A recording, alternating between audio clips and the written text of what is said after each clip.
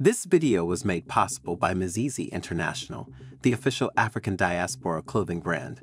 Visit mizizishop.com for more information. A tempestuous scandal is currently rocking Southern Africa, specifically Zambia, as its Minister of Foreign Affairs and International Cooperation, Honorable Stanley Kakubo, resigned hours after he was embroiled in a social media frenzy over alleged unscrupulous dealings with a Chinese businessman. This move followed the circulation of a viral video allegedly showing him and a Chinese man counting bundles of cash on a table.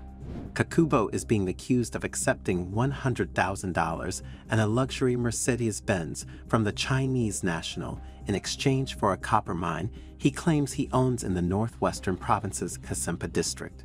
What are the facts of the case? Is Kakubo actually guilty? Why did he resign? And does this ring alarm bells about the aggressive, expanding influence of China in Africa aimed at capturing the continent's resources? Join us in today's video as we explore answers to these questions in detail. Before we dive into our topic today, if you haven't already, please consider subscribing to our channels and ringing the bell to be notified about all our exciting future videos.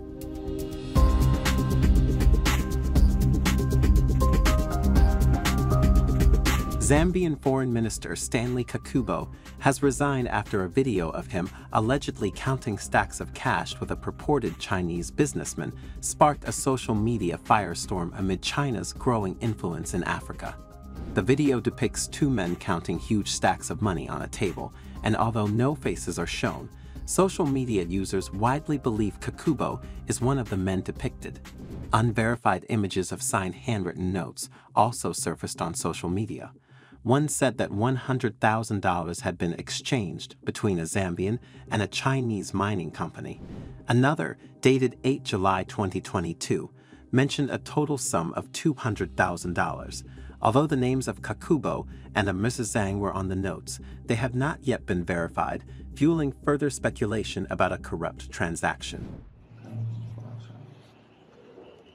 16 dollar. 16, uh, 16, yeah. 40, yeah. So, depending on 50, how much? My 50. Yes, 50,000. So,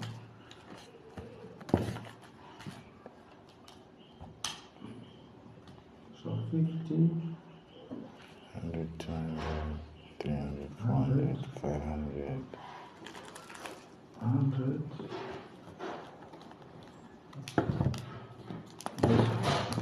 So this is how much? This one hundred. This one same hundred. Yeah. And this 100. yes.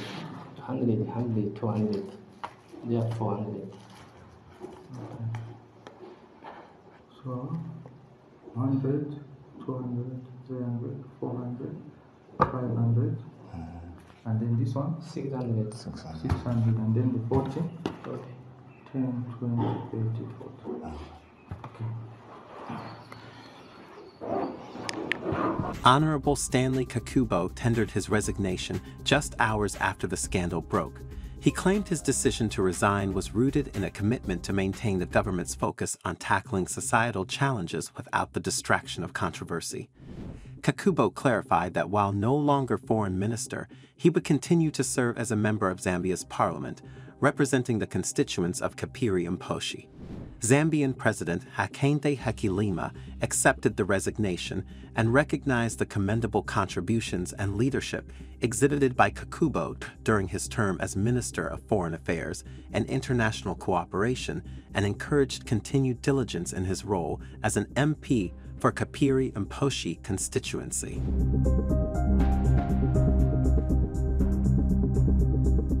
Interestingly, in his resignation letter, Kakubo did not deny being in the video nor dispute the authenticity of the notes.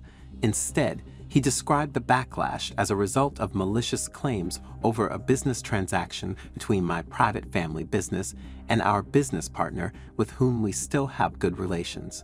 In due course, we will provide the accurate context surrounding the recent developments. The Lusaka Times news site quoted Mr. Kakubo as saying, Unconfirmed rumors circulating indicate that the video allegedly depicting Kakubo counting wads of cash with a Chinese businessman was released by the Chinese themselves after Kakubo shortchanged some Chinese nationals in the sale of his copper mine.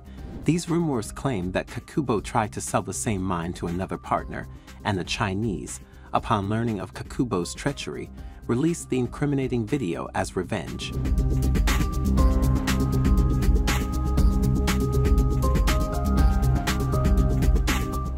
Although there is no confirmation that Kakubo is in the video or is guilty of any wrongdoing yet, the optics are not good for him and the Zambian government.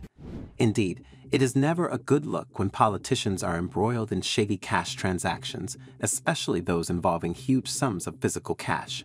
And this is not the first time that Mr. Kakubo has found himself at the center of such controversy. He was accused of accepting a bribe last year after he was seen leaving the office of a Chinese-owned cement company with a briefcase. Kakubo denied any wrongdoing, while the president himself defended him by stating that he had only received a calendar and a diary. Zambia's Anti-Corruption Commission has been urged to take up the latest scandal, but it could take months or even years before the real facts of the matter come to light. Kakubo's alleged corrupt dealings with Chinese miners sheds light on the larger concern of China's burgeoning influence in Zambia and across Africa. According to reports from the Chinese embassy, over $3 billion was invested by more than 600 Chinese companies in Zambia in 2022 alone. China has also been an important international player in efforts to restructure Zambia's foreign debt, and Chinese companies are heavily involved in Zambia's mining industry which is the backbone of the southern African country's economy. But China faces competition from entities like the European Union and G7 for access to Zambia's mines and other resources, placing Zambia at the center of a bidding war. This means that the potential for corruption is huge as large sums of money can be floated around to secure leases and licenses.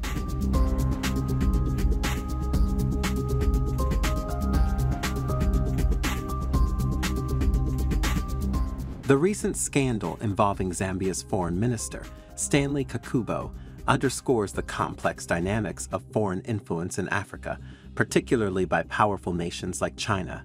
While the competition for African resources presents an opportunity for nations like Zambia to negotiate better deals for their development, the risk of corruption looms large. African countries must establish robust regulatory frameworks and transparent mechanisms to oversee foreign investments and prevent illicit practices, strengthening anti-corruption commissions and ensuring the involvement of civil society in monitoring these transactions are crucial steps. Moreover, fostering diversified partnerships with various global players can mitigate the risk of over-reliance on a single nation. Ultimately, African nations need to prioritize the equitable distribution of wealth generated from their resources to ensure collective prosperity and guard against the pitfalls of corruption that can arise amid intense foreign competition.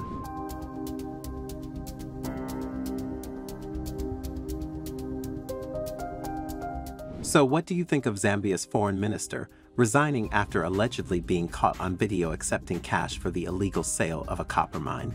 Let us know what you think in the comments section below, and as always, do subscribe to the New Africa channel for more informative future videos.